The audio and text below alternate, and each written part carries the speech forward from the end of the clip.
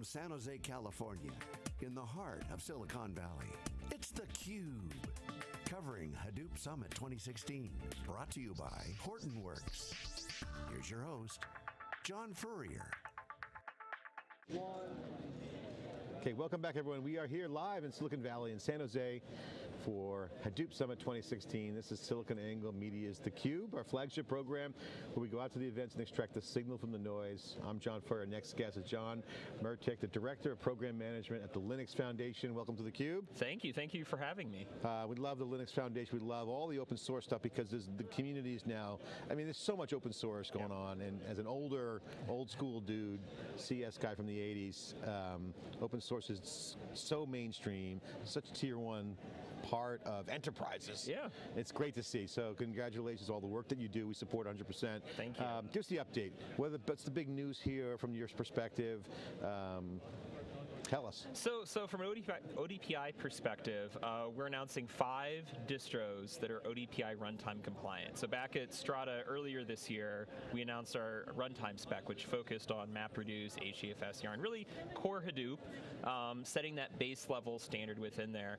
And we have five of our member distros, including IBM and Hortonworks, but also smaller distros. Uh, Altiscale, who's here at the event, um, Infosys, um, and also a smaller Russian distro, ArenaData, who have all uh, went through the testing, went through the compliance, and they're now runtime compliant. So at uh, Strata Hadoop, which coincides with Big Data SV, part of Big Data Week, our event with Strata, we had a panel on ODPI, mm -hmm. and that was all the news. There was some controversy, mm -hmm. you know, people, you know, some people, some people aren't aren't for it, some yep. people are. Okay, that's open source. Right, no right. Problem. I can, we can deal with that. But it was a big part of the announcement, right? Mm -hmm. So this is positive news. What's the bottom line impact for customers with ODPI, these certifications? Why is it important and why should people be, pay attention to it? I know it's, there's a lot of announcements going on this, at this event, so mm -hmm. you know, this is relevant, but why is this important? What's the milestones mean? It's this here's really the first time we're seeing market acceptance of what we're doing. We have we have companies that are putting their engineering dollars behind ensuring they're aligning with the standard. And you know, if you look at it, there's basically five big distros out there. Um, two of them are ODPI runtime compliant. So your testing matrix, if you're an app vendor, has went to five to like four and a half. Who's now. not compliant? Uh, Cloudera, MapR, um, Amazon. Um, those are probably the key names. And there's a lot of other little distros. But this is actually the interesting other angle there. You know, taking away the focus from that, um, now a distro, now an app vendor that works successfully with IBM or Hortonworks, you know, now it's an easy transition to Altiscale.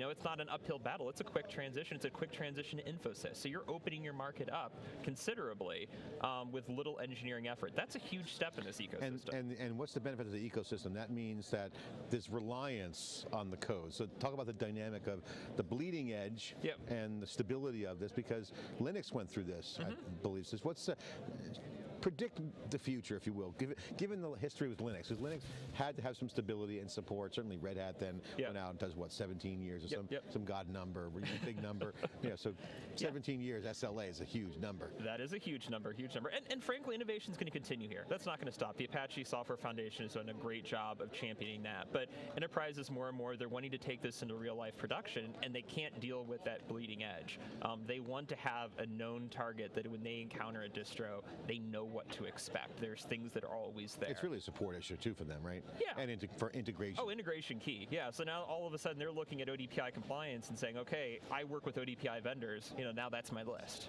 um, and that's my yeah. focal point. Yeah, and it's a good thing. So it's not just a rubber stamp kind of thing. Right. The value is there, and, and the risk would be that some would say is, well, they're not moving as fast as the rest of the market, but the that's kind the, of the point. The vendors are motivated. No, but they're motivated to lock step.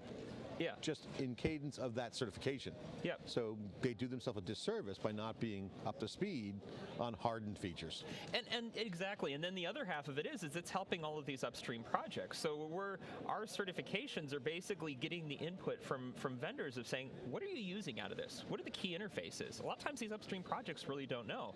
We're finding that out through our ecosystem, through their use cases. We're codifying them into testing infrastructure. We're contributing that right back up to the projects. So now from the projects on down, as they need release new versions, these APIs you're depending on, they stop breaking. John, give an example of a, of a use case where you're saying that situation happened and that benefit was a direct result of ODPI. So, Can you point to anything? So, so some of the early ones, a company I've been talking to, Splunk, who's one of our members, and they integrate really at that core, you know, um, MapReduce HFSR layer, right? And when they came to me, they said, you know, look, we're, we're at core Hadoop, and we've been told the story. Hey, this stuff has been stable for years. Um, this shouldn't be a problem. But guess what? Every time that I'm getting a release, you know, this is the stuff that's not showing up in the release notes, and I'm finding it through my QA cycles, and now I'm having to kick this back to engineering to deal with these little inconsistencies, and now I'm fixing my product for things that should be stable, but they keep breaking the trailing edge. So that's that's kind of an interesting thing. It's not necessarily what's on the front that's breaking, but it's the things that, hey, after we agree on it are stable, those start breaking because people stop paying attention to those. That's what's really ends up being interesting. Yeah, that's where our focus comes. So that's basically you inherit a kind of undocumented, Yep. non-QA'd feature, mm-hmm. so the stability solves that problem. Yep. Okay, so what's uh, going on uh, in the community? Tell us what's happening, the Linux Foundation and all the, the adjacent communities that you're involved in. What's the big update? Well, vibe? well, you know, for the Linux Foundation, we, we're tons of collaborative projects we're working on in, in the networking space, um, IoT. I mean, that's just growing. It's growing, and and what we bring to the table is continues to be amazing. Um, there's a ton of excitement what we're doing around here in big data. You know, I I've been bouncing on the show floor like crazy. We have a booth over there that's been going nuts. The sessions Um, are packed. the sessions are packed, but just really everyone that I go to and I, I just start talking the message of, boy, is multi multi distribution support a challenge for you? And they say yes. And I tell telling our story, they resonate. They're like, where do we sign up? I mean, yeah, this is this a is just a no-brainer. It's yeah. a headache. It's basically aspirin, big, day one. Yeah, yeah. So it's it's been fantastic. I've, I've loved talking with vendors. I've loved talking about their stories. Um, and you know, I think we're going to have quite a few members that are just going to come from this. If not, just people participating in our community. And that's really what we're about. How can we get this voice heralded together and just help make Hadoop easier for everyone? Awesome. Well, thanks for coming on and spending some time, John the Cube. Really appreciate it. Thank you. We'll see you up at your next event, at Con, all the big events coming up. You're watching the Cube here live, day two coverage here at Hadoop Summit 2016. We'll be right back with more coverage after this short break. Live